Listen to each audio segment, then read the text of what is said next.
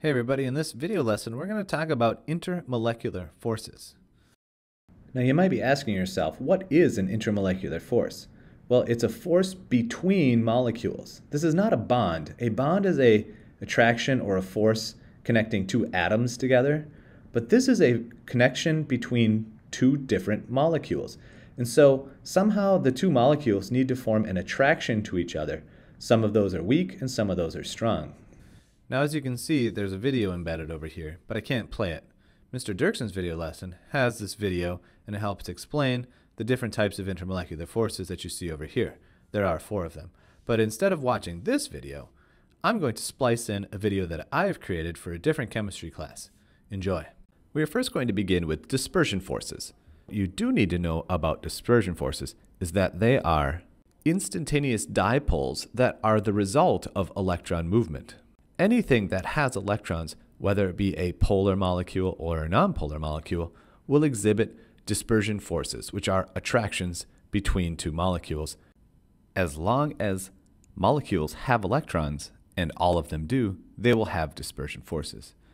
Now, what do I mean by instantaneous dipole? What do I mean by that?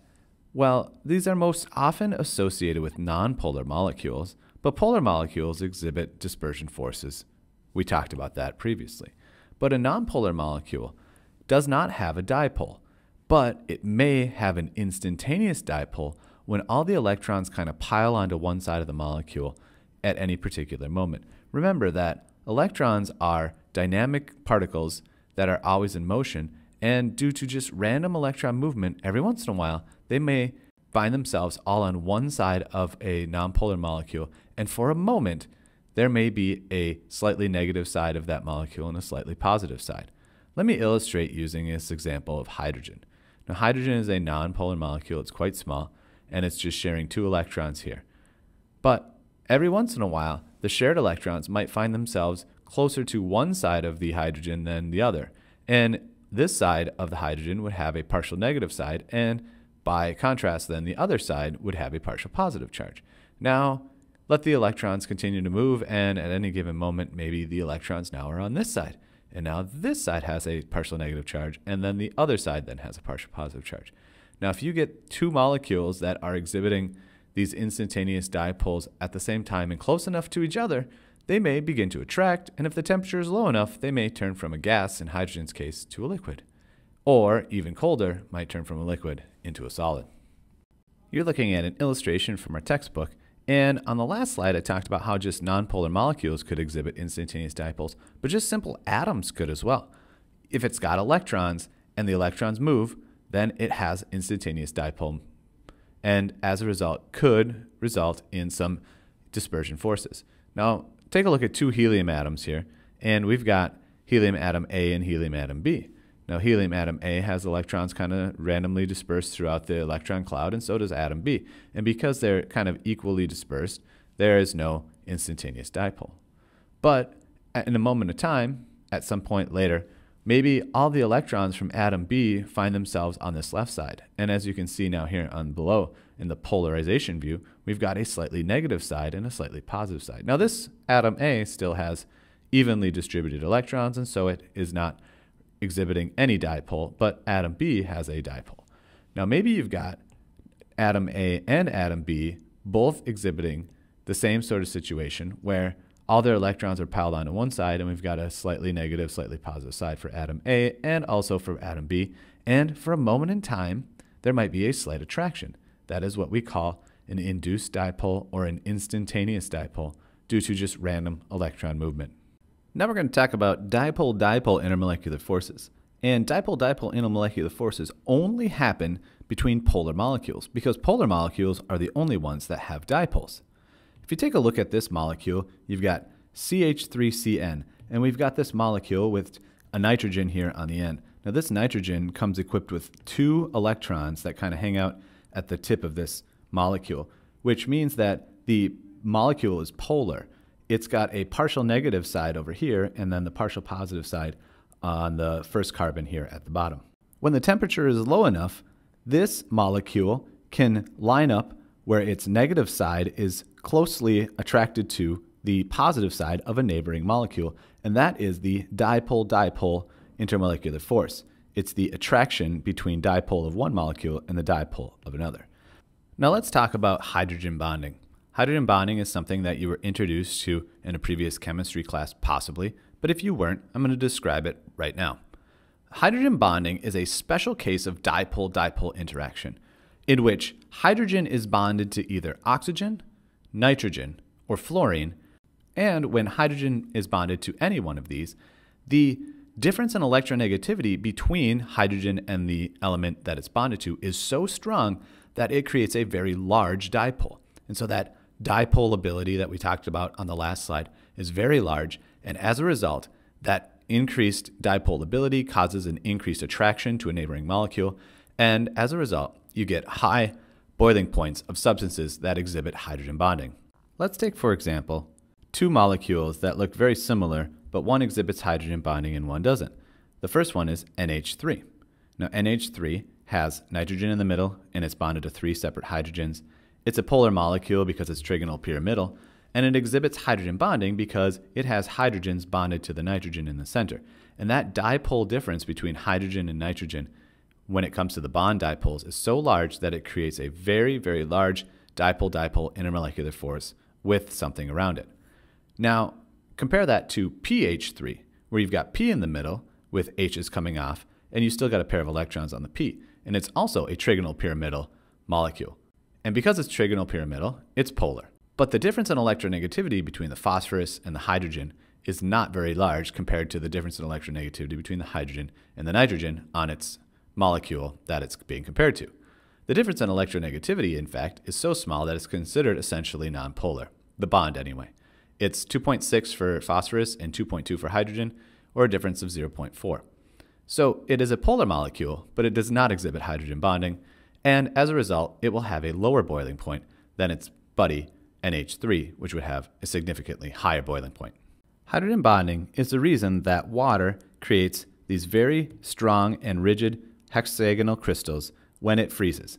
And it's the core of every snowflake. Every snowflake starts out as a six sided crystal, and which is why every snowflake has six arms. As you may know, when water freezes and creates these six sided hexagons, it actually expands when it freezes, which makes it less dense in its solid state than in its liquid state. And as a result, it will float on its liquid self. Now, this particular characteristic of water has many, many implications that are hugely advantageous for us as humans to survive and for us to live on our planet, which is 70% water. Because if the solid state sunk down into its liquid form, we would not have ice on top of lakes. We would not be able to go skating. We would not be able to go ice fishing. We would not have any life that exists in the oceans because they would freeze from bottom up rather than from top down. And if they freeze from bottom up, everything would die. And life, as we know it, would not have existed because scientists have hypothesized for many, many, many years that life began in the oceans and moved out onto land after many, many thousands of years. So, if water didn't do this, then life would not exist and we would not be here today. The last intermolecular force that we are going to be talking about today is called the ion dipole intermolecular force. And that's not really an intermolecular force, but rather an interparticle force. But we put it in as an intermolecular force anyway. What happens here is that a dipole, or a polar molecule, has an attraction to an ion that has been dissolved in it. And so when you have something like water, which is your classic example of a polar molecule, which has a positive N and a negative N, and you dissolve ions into it, the positive ions and the negative ions are going to behave slightly differently with the water because the positive ion is going to align itself with the negative side of the water molecule. And as a result, you get water surrounding the positive ion with all of its negative sides, and this is what is known as a hydration sphere.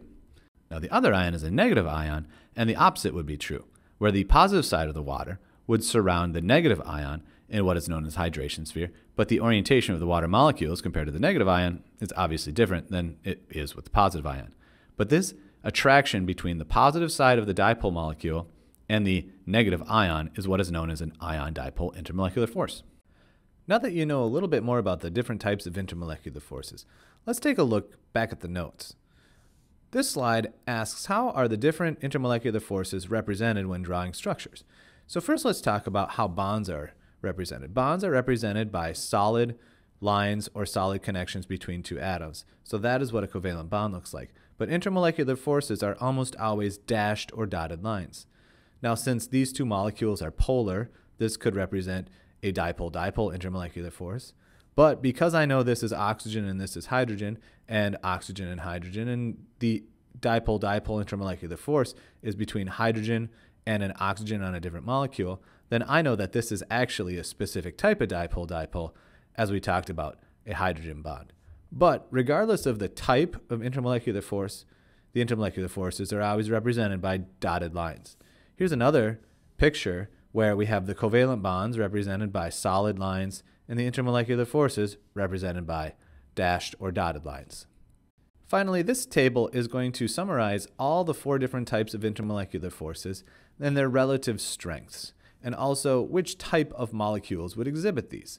So first, London dispersion, which are considered the weakest, and all molecules, whether it's nonpolar or polar molecules, exhibit these types of forces. Because remember, London dispersion forces exist because electrons move, and when electrons move, you get those induced or weak dipoles, and those weak dipoles could be on anything, whether it be nonpolar molecules or polar molecules. Now, dipole-dipole must be polar only. Only polar molecules can be attracted to each other using dipole-dipole intermolecular force. Ion dipoles, well, as the name suggests, an ion, whether it be positive or negative, has to be attracted to a dipole. So you have to have at least one polar molecule and one ion. And to compare these two to each other, dipole, dipole, and ion dipole, we can't really compare them. They're just middle of the road strength. Finally, hydrogen bonding is the highest or strongest type of intermolecular force out of all of them. And it has to be a polar molecule where the H is attached to a nitrogen, oxygen, or fluorine. Only then can hydrogen bonding in a form of an intermolecular force exist between two molecules. Now, why is the strength important? Because the strength of the intermolecular forces affects many physical properties of the molecules, and you can be sure that we're going to be talking about the different physical properties that intermolecular forces play a role in. Well, that takes care of this video lesson. Thanks for watching.